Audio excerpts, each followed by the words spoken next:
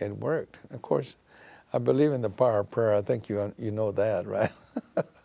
I did a lot of that. I do a lot of that during the session. Uh, Well, I mean, just going from there, how, I mean, does God influence the decisions you make in the Capitol? uh, please, How, how does your faith and, and your belief in God influence your decisions in the Capitol? well, it's everything. I mean, uh, on a daily basis, uh, my faith uh, comes into play. It, it always has uh, since 1987. Uh, uh, being one of 10 kids, uh, growing up, you know, with a father and mother who really truly loved us, we never thought we were, we never realized how poor we were. you know, we came from modest uh, means. We even lived for a couple of years in government housing. We didn't think anything of it. We just, um, we were thankful we had housing, you know, and, and it relates back to, to, you know, what the Bible says, you know. I was hungry, you fed me. And of course, I worked on a many hunger bills, as you know and uh, I was uh, homeless, and you gave me shelter.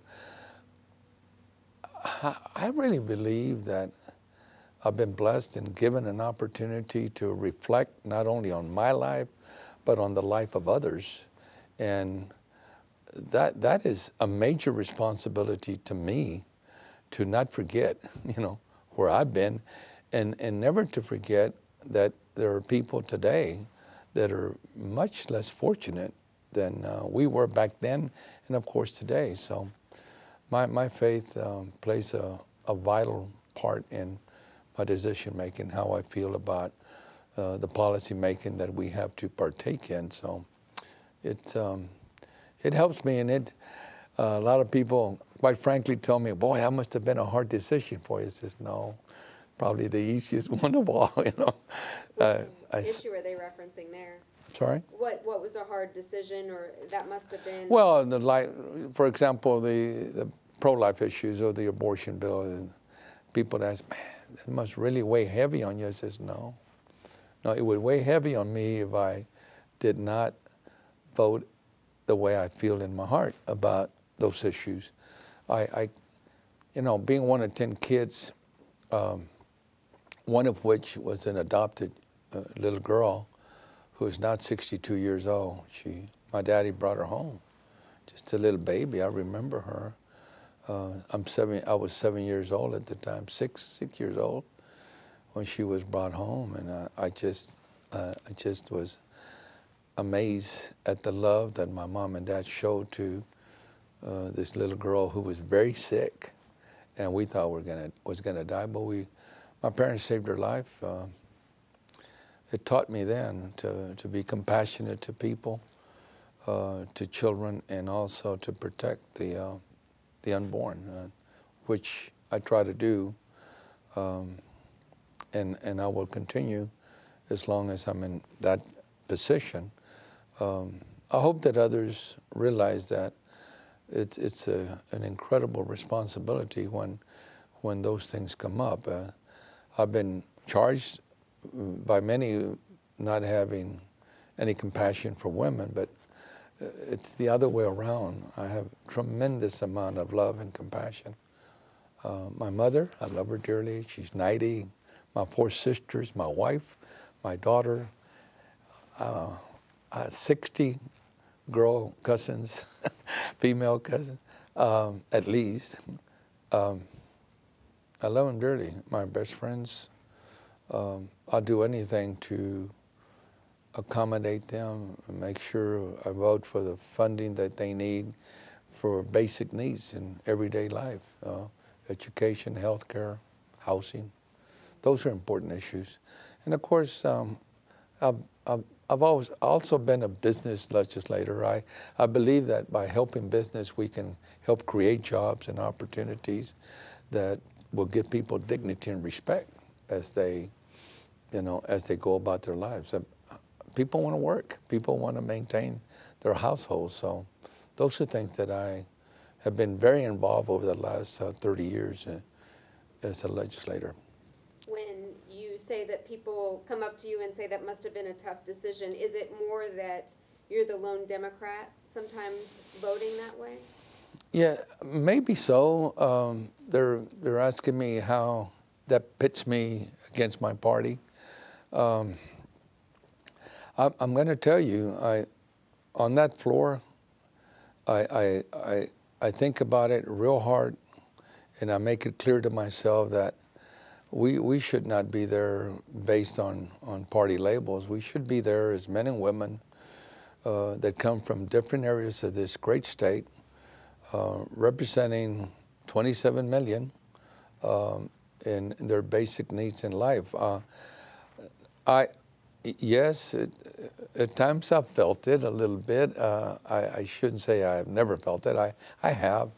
Um, they haven't said much to me, but we've had an exchange. Uh, I had one with a with a with a, one of the one of my, my colleagues in the on the Democratic side. Says, you know, you, it, my faith teaches us to be pro-life. You know, uh, I'm a Catholic. I'm a Democratic Catholic pro-life lifetime. I'm going to talk to you about what lifetime means in a minute, but I'm a pro, uh, uh, I'm a Democrat pro-lifetime Catholic. And, and he said, well, I'm a pro-choice. I says, Catholic. I says, and I says, no offense, I don't think there's such a thing. Uh, you, you can't be a Christian and, and know about uh, and, and, and know what it means to be a Christian and the things that we stand for as Christians and, and be pro-choice. Uh, please forgive me, but I, I, just don't understand it, how we can pick and choose how we want to be, even if our faith tells us one thing, we do others that might be politically correct, maybe, uh, depending on where you live in this state. Um, but I don't even look at that. I, I might not be reelected in Austin, Texas, probably, you know, because it's a more liberal community, but I would still vote the same way and, and hope to, I would hope to have an opportunity to discuss and elaborate on the issues to let people know why I felt the way I did. You hit on it a little bit right now, just talking about somebody who's saying they're a pro choice Christian how do you mitigate that? Do you feel like you have a, a, a duty or an obligation to uh, balance, you know, religious beliefs with your duties as a, a state official? Well, first of all, I don't think there, there's there's any way I can separate what what people call separation of church and state. There is just no way I can do that. There's nothing in the U.S. Constitution that says that uh, we should do that. There's no, no, nowhere can you find, can someone point to me and say separation of church and state. There's no such statement in the U.S. Constitution. To me, uh, I can't do that. Uh, I, have some people say you've taken a bold step in, in endorsing the U.S. Uh, uh, Conference of, of Bishops in the state. There's 15 dioceses in Texas. I got into my suburban and drove the whole state, uh, visiting with these bishops um, in every corner of the state to discuss the issues that we were going to take up this session, this last session, on immigration and health care and, and education and, and um, uh, uh, you know, other, other, other issues that, that you know, were important to them because I've endorsed their their uh, their platform. Uh, I really truly believe that they represent uh, the Christian values that I live by, and that they support the issues uh, uh, that that I um, that I too support. So. Uh, I, I, I, never wavered. If you, if you look at my voting record, I, I would always check with them on amendments as well to see how that would that would come out. So I I've tried my best to stay on on on on that road that I consider uh, the road of faith that would lead me to the decision making. Um, but uh, obviously, people might disagree with me, and, and, that's okay. We can't all think alike. Uh, but I would try my best. Um, I send a daily prayer to each one of my colleagues every day, both Democrats and Republicans. Uh, and and if if they care to read it or digest it, it, that's their decision. But I still feel it's a duty that I have, a responsibility, to share the good news as I see it. That has allowed me to feel like I do, and and um, to make a difference. Uh, uh, if you study my what I've done in the last, uh, at, le- at, least in the Senate, uh, I became uh, quite much more effective uh, than I was in the House because there was so many, and I was. I was in the House four years, and I had made a lot of wonderful friends. Many of those followed me to the Senate after I took the bold step in 1990. But um, I have a responsibility to, to communicate these issues with, with not only my delegation but everyone in the in the legislature. So, I think I think it's I think they understand where where I'm coming from, and um, I'm I'm a little uh, critical. Yes, I am. And, and the speech that I made, especially on the abortion bill, if you might remember, I, I was critical of the Republicans for not being pro-life time. They, they, they're pro-life, want, want a child to be born. That's wonderful. But after that, we still have a responsibility to that child. Um, that child might, might be poor, might be rich. It doesn't matter. We, should, we need to find out what we as a state can do to foster, uh, you know, uh, their lives and to, to, to create a better quality of life, whether it's education, healthcare, etc. On the other side, uh, the Democrats uh, will fight tooth and nail, you know, to on funding for everything under the world, you know, for for the seniors and for for the poor and for uh, the, those children with special needs, but but they're pro-choice. Uh, it's it's just to me it's not consistent on either side. But yeah, I I respect them all. I hope to work with them and we, we've made good friendships. So we've established good friendships on both sides of the aisle.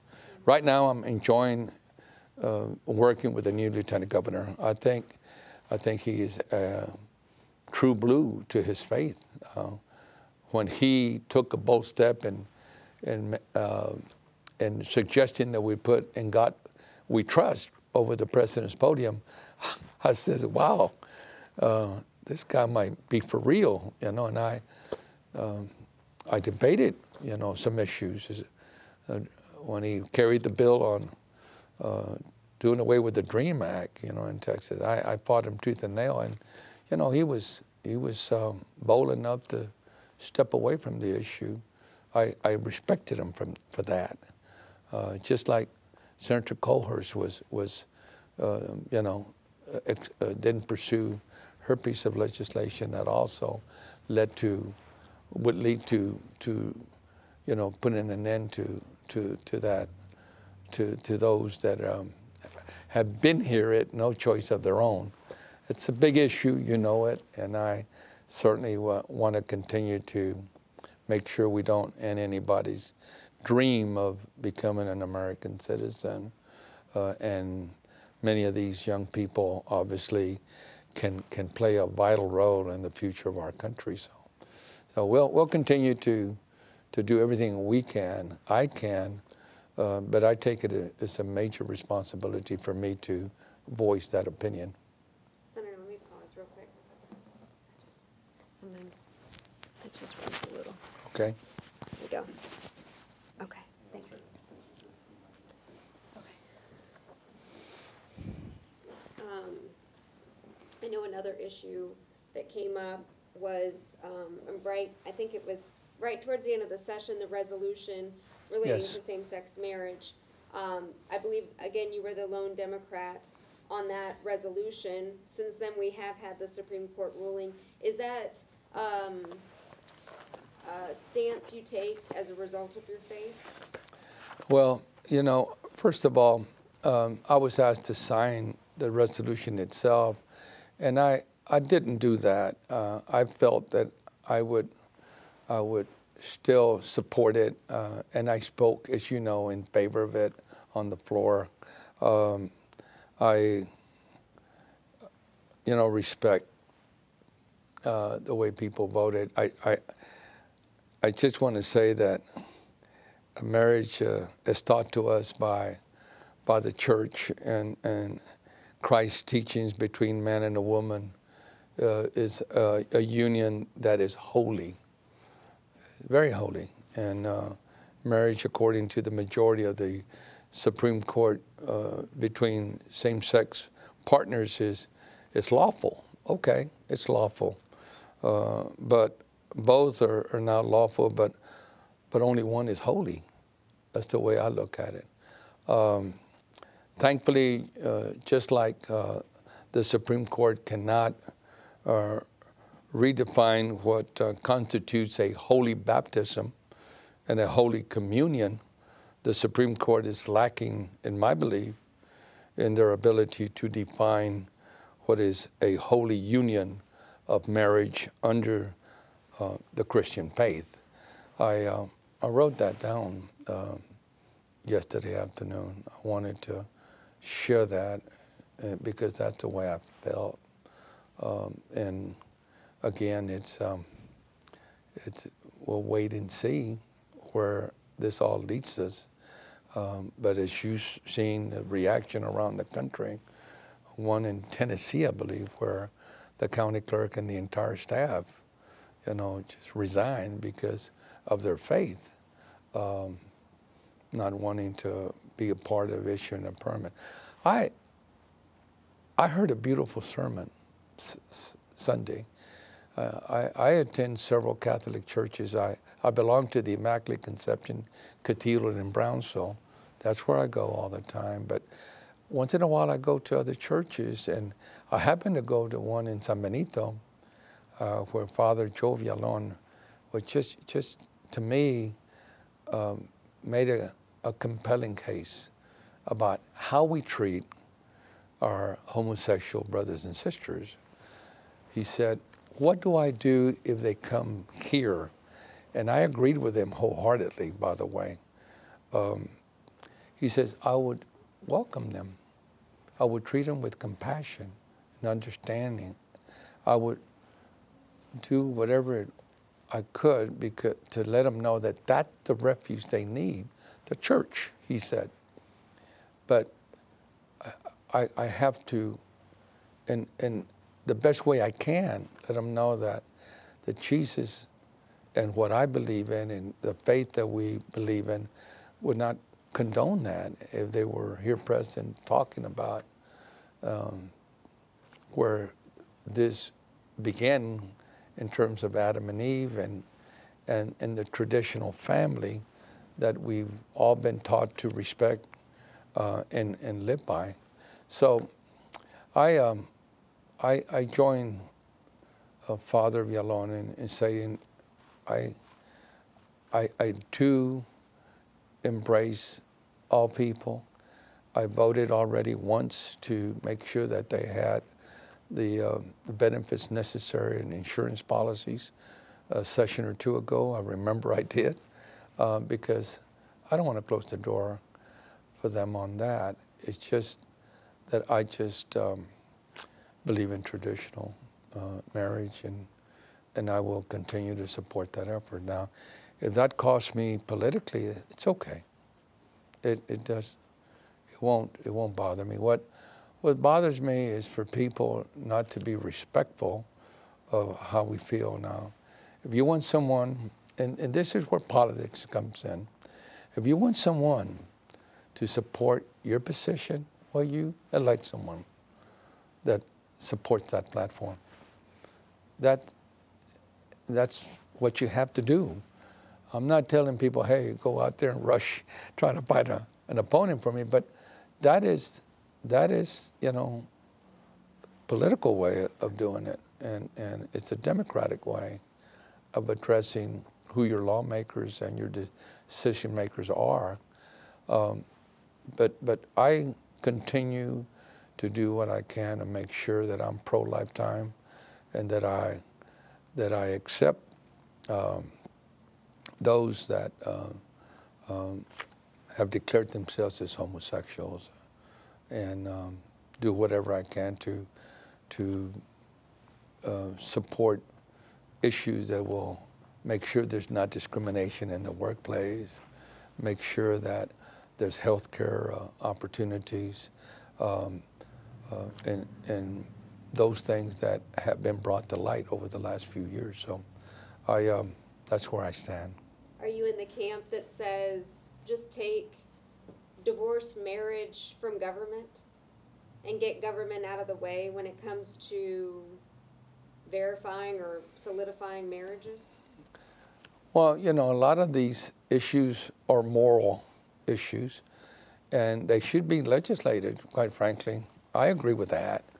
But when they come to, to, to us as policy making items or issues, then um, you have to act on them. And, and again, my faith, my faith uh, leads me to, to, to vote the way I do, you know, and that's all I can do. Uh, if they don't come before us, obviously, the Supreme Court uh, uh, or the or the federal government might find, uh, you know, their own their own way of addressing those issues, which is okay with me, but that doesn't mean uh, I'm going to go out and, and condone it and embrace it. I, I did have an opportunity um, a few years ago in San Antonio as I stopped to, to have dinner on the way back to the district to see two homosexual men necking on the waiting line. Uh, um,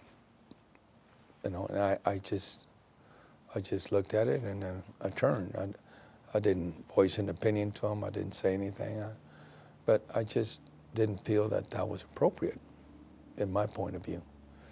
Uh, but maybe to others, it's, it's okay. It's permissible. America is a great country, uh, great opportunities. Uh, and I know that people born in different generations and different eras uh, are going to feel different. I, I'm a product of the greatest generation that, that taught us certain, you know, uh, certain things that, that led to where I am today in terms of my faith. Uh, so I, that's why I am the way I am. and I decide the way I decide because uh, that's what I've learned.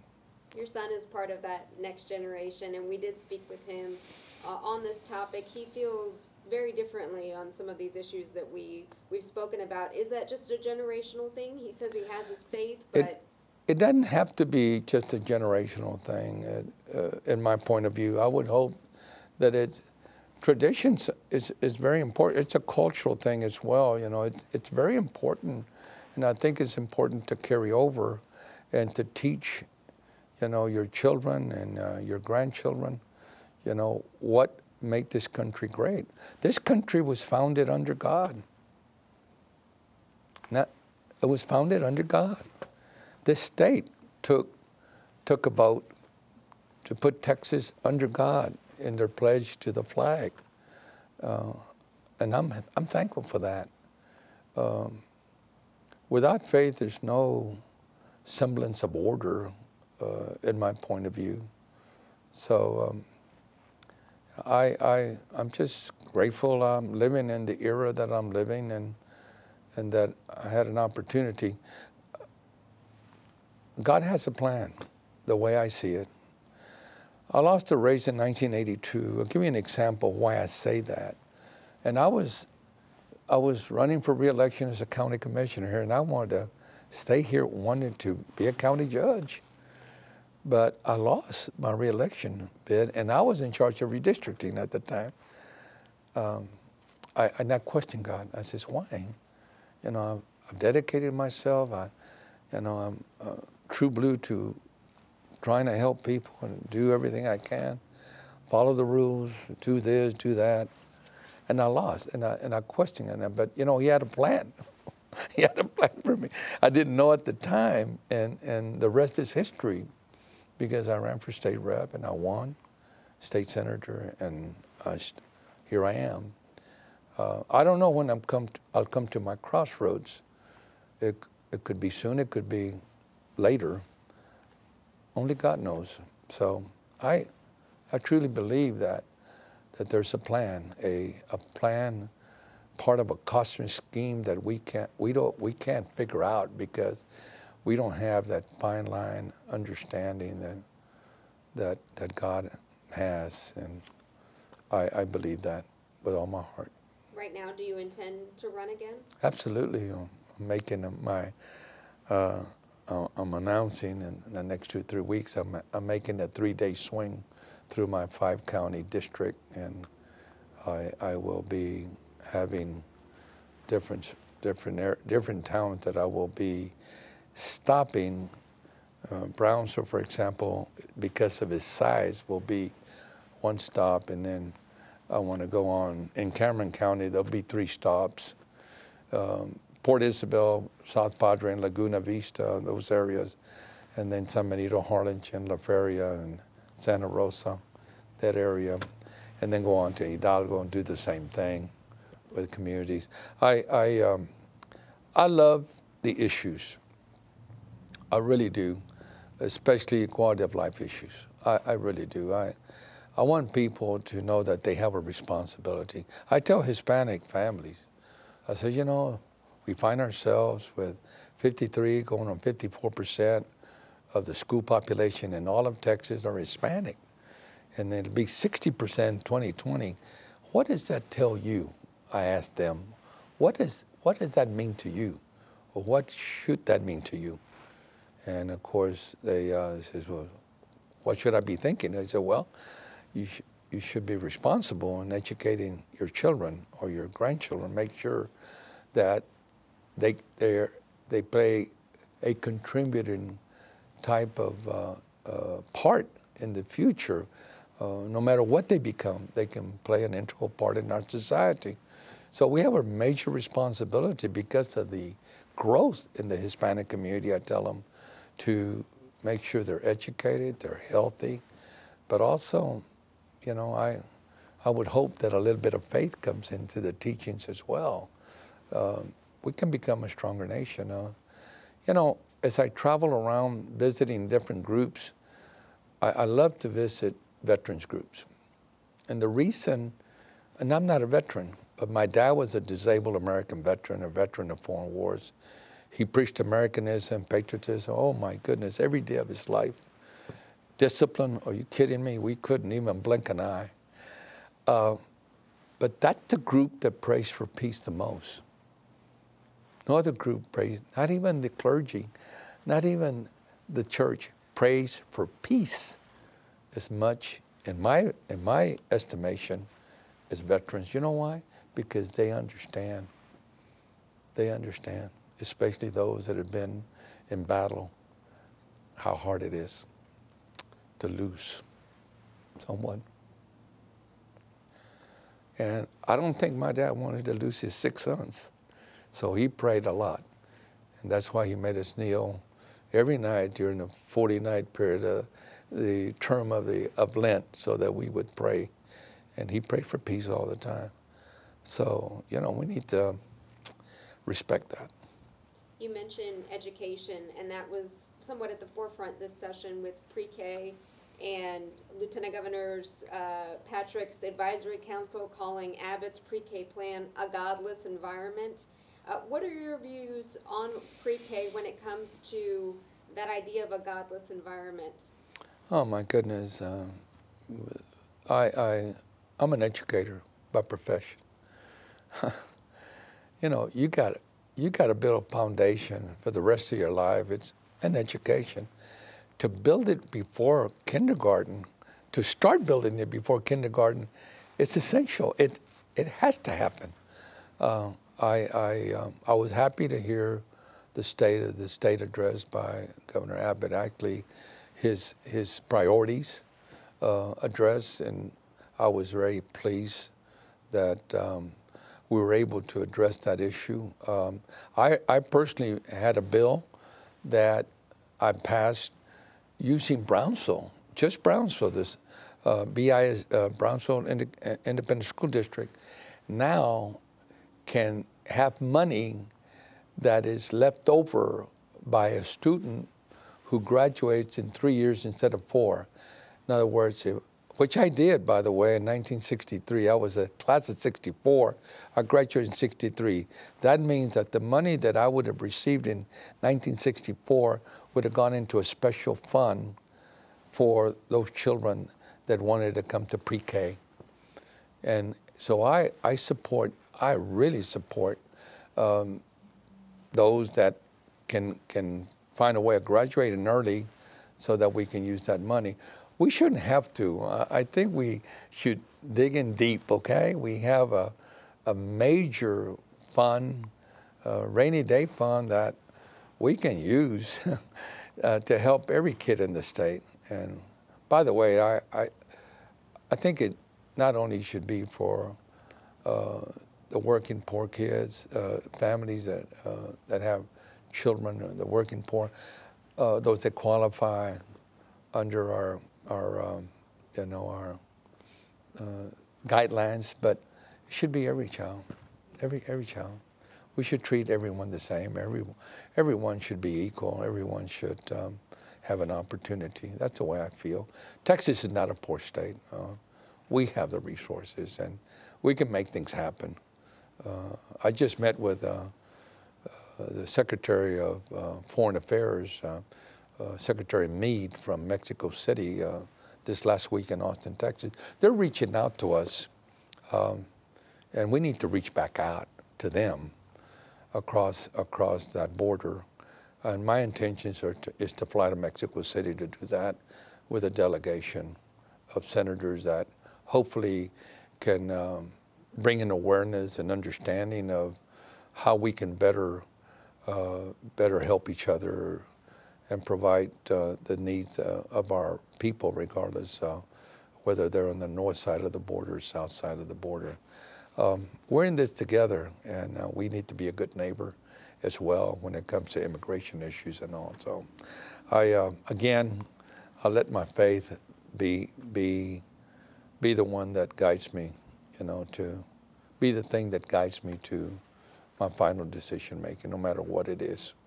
Senator, one of the first issues you mentioned today was, and you keep bringing it up, the, the pro-life issue and that every, you know, life is created in the virtue of God. How does that then uh, shape your view about the death penalty? We need to be consistent. Yes, that's another thing that I will be very much involved with. Later this, this year, I'm sponsoring a, a, a, very friendly demonstration, I say demonstration, march, a march at the Capitol. Uh, I want to meet the day before. I will be organizing uh, a mini conference or summit, call it what you want, on, on the death penalty. Um, I'm, I'm, working with religious leaders from throughout the state uh, and others that want to, to uh, make a difference on that. We need to address it once and for all. Texas leads the country, as you well know, on uh, the, the prisoners we put to death. Um, I would like to see it stop. Uh, the measure that I passed on life without parole would be punishment enough, uh, in my opinion. And, you know, that's one of the Ten Commandments, thou shalt not kill. It's, I, I can't put it any simpler than that in, in context. I, I would hope that um, we could be consistent. Uh, but here again, I find both parties being pro-birth, but pro-death on that, or you know, um, pro-choice, and then pro-life on, on the death penalty. Um, I, I, would love to bring it together and, and make it one for all and all for one. uh, and I, I think we can do that. Where there's a will, there's a way. There, we can do that. I, I just believe we can. And I'm going to call on my Christian brothers and sisters and, and non Christian brothers and sisters to, to think about that. Um, if we can come up with a policy that does away with that, not taking someone's life, no matter what that person had done, something's wrong with that person. So, I, I, I, I can't prejudge why uh, those things happen. There's heinous crimes, but all I can say is that uh, even even those that that kill um, should not be killed. The New Testament tells us that it no longer an eye for an eye like the Old Testament. You know, just hopefully we can we can address it and have a hearing. You know, sometimes we don't get hearings on our legislation. I didn't get one this last session with dealing simply with uh, requiring a, a, woman that was seeking an abortion to, to have a one hour seminar, one hour uh, instruction on the benefits of adoption. That's all I wanted. Just one hour. Here, this is this could happen, and maybe we could save a life or two along the way. It didn't happen. I, I couldn't even get it. I changed it. I changed it from a one-hour seminar to just hand them the materials. Just give them the materials on on the benefits of adoption. I couldn't even get a hearing for that. And again, I'm not pointing the finger at anyone. I just um, could not. Maybe it was in the chair. Maybe it was members from the committee telling the chair, "We don't want to deal with it. We don't want to hear it." Again, why? Why? You know, I, I question. That's when I really get a little perturbed that, that for us not to even have the opportunity to bring it to the to the table, to discuss. So it would be highly disappointing for us to go to meet in Austin, to go through the process, get everybody together, talk about the issue, and then not even have a hearing. That, that would be disappointing, to say the least.